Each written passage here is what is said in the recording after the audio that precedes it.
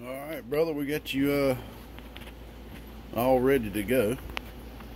This is a one drive and two Moto three transistor amplifier that was already pre-built. I actually uh, built this for a buddy of mine and he never used it. And we worked out a little trade back and it actually just sat here the house, uh, in, inside the house for a few years. And I finally put it up for sale. And this guy this nice uh, fella right here purchased it, but uh, he wanted it staged. He wanted a few things done to it because he kind of needed a one transistor amp also. So he's like, well, can we just stage this amplifier? And I'm like, yeah, man, sure, we can do that.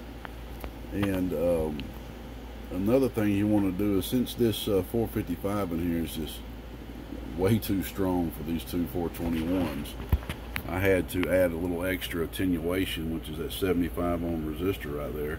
And basically, since this is staged now, he was wanting to know if I could enable it to where he can turn that resistor on and off.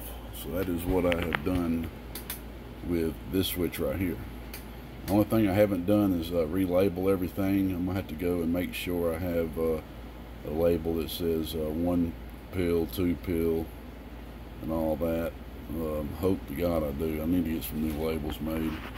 But, uh, so we had to drill uh, an extra hole for this switch right here. Basically what we did is just move these two switches that was right here over. And then we had to add this switch right here for the preamp. And then here's the switch just turning that 75 ohm resistor on and off. So it turned out great, brother turned out absolutely great, man. This thing is tuned to perfection. Uh, another thing I had to do, well, one thing, I had to remove this whole board and rewire everything up underneath the box. So I, I, I, technically had to strip out all the wiring to all the switches and rewire it. I don't know why that's having some some issues there. I think I've enabled some setting on here I don't normally enable. But anyway, whenever you stage an amplifier and they, they want sideband delay, you have to give individual delay caps for each relay. So I had to install this double pole, double throw switch here. And as you can see, each one has its own individual delay cap now. So, so there you go, man. We got this thing done for you. I went ahead and removed this, uh, the four four pin connector that was right there. Because honestly with these particular switches in here you can't run these as a remote anyway because of the lamps in here. I'm not a humongous fan of those switches but my buddy I had originally built this for is a humongous fan of them he's just stuck on them things. All right man. So we got this thing on 14.4 volts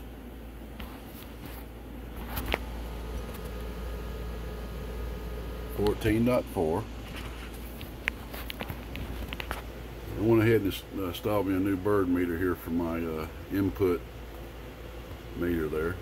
We got the 250 watt slug. We're going to be showing in peak. We just got a thousand sitting in there for now. All right, we'll start from the beginning. Your first switch here is the one pill. So we'll go ahead and turn that off. With this switch, when you flip it up, it puts the uh, attenuator in effect. Flip it down, it takes it out of line. Okay, so this is out of line. Oh.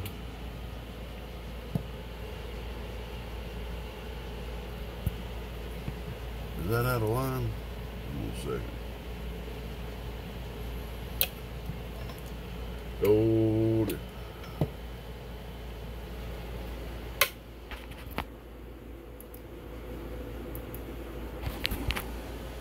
Oh, I got the variable turned all the way down. I was wondering why it wasn't doing the output.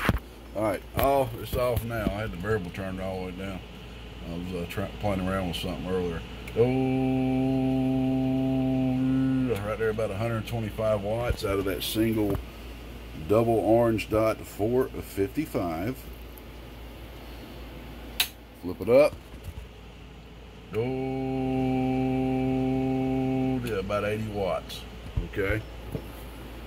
Now keep in mind, you got this variable to use in between either or. Okay, so you can use this variable to, to, with the attenuator off or on to find that perfect. So let's see, we put the variable halfway. We're top scale, by the way. 10's 100 watts. Oh, that's halfway. Look at that, 25 watts, man. oh, 25 watts. Oh, hardly even barely 10 watts RMS. All the way down. Oh, barely nothing. Maybe 10 watts peak. So yeah, you can really have fun with this, getting this to do exactly what you want it to do, man. All right. We're going to turn that variable back up. Flip on. Oh, I forgot to show the input reflect. 5 watt slug. Oh, yeah. Beautiful. Oh, yeah. Alright, now just the two pill section. The one transistor section is bypassed. And I kind of like the way I did this. Uh, this is the first time I've ever put the pads like right here. And I like the way this works without having to send another coax this direction and around the relay. So, so I'm going to take pictures of this. Every once in a while I'll do something like that and I like to take note of it for the next go around. Oh, off the scale, of course. All right, let's take that out put the 500 watt slug in. Basically now we're just showing you what the amp uh, is doing since it's staged. Has it lost a little bit of power? Maybe a tad bit. We'll have to wait and compare it with the latest, these last videos. The video, you know, the main video. All right, 500 watt slug, reading the middle scale. Oh, yeah. That right there is an easy 320 watts. And now take a look at this input reflect. That is even better than the one transistor section. Beautiful. Man, this thing is working wonderful. That's on 14.4 volts, okay?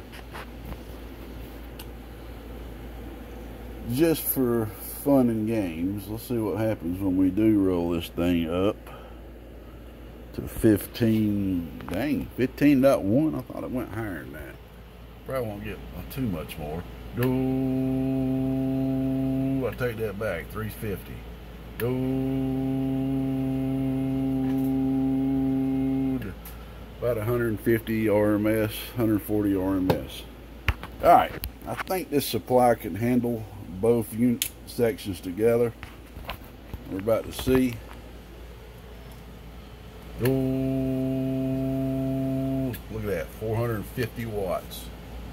Ooh, a little bit over 200 bird. Input reflect. Ooh, look at that. That is beautiful. Less than a quarter watt. This is a five watt slug, y'all. Five watt slug. Ooh. Absolutely beautiful. God, this amp. That, that's, that's what I love about this amp so much is when I, I don't know why this is having a focusing issue. I'm sorry about this. But when I first went to build this amp, I have no idea what the wraps are going to be on this driver section. I have absolutely no idea. I have no idea what the capacitor is going to be right here, what the capacitor is going to be right here, the capacitor is going to be on the input, I have no, I, I did know what the wraps are going to be for the, for this because um, I'm pretty familiar with the Motorola uh, wraps and that's a 4 and 4 on that. But I had no idea what the input would be, the output. Definitely had no idea what the tune was going to be on the input and output. So I was in the dark with all this. This is one of them ones I had to spend time with and really, really tune each section individually. Now, yes, I had done a one driving four moto box before this one. And uh, I'm a big fan of these 421s. They don't do exactly, exactly the amount of watts or uh, PEP RMS as the Toshiba would. But when you're looking at the DB spec sheet, it ain't going to be much off. It really ain't gonna be much off. Who's that out there? Uh, make sure somebody wasn't walking up on me. All right. Now, you know what I just thought about? That attenuator is turned on.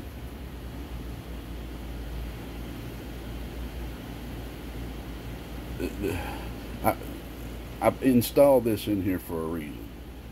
Because when you flip this up, it's just too much for it. Let me see what the dead key is.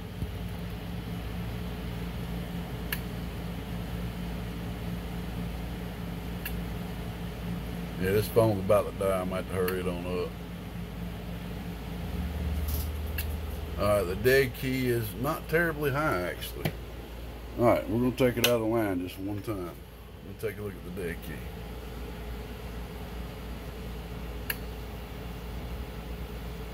See, now the dead key's 150 watts. So that's what I was afraid of. Go. And uh, it didn't swing that much more, honestly. But this supply right here is is, is, is not completely adequate for this. It, it works great with a two pill and under and can test a four, but if you hook this bad boy up on the unregulated supply over here, it, it'll peg 500. Y'all, y'all probably seen that in another video. I'm not to hook it up to the unregulated supply, but you, having this switch up is 100% recommended when you're running both sections. Please just leave it up. You, you, these transistors are, are, not cheap and they're very hard to find, brother. All right, man. This phone's about to die, like I said. But uh, we're just going to play around with a little something here. We're going to flip that switch up. We're going to turn this all the way down.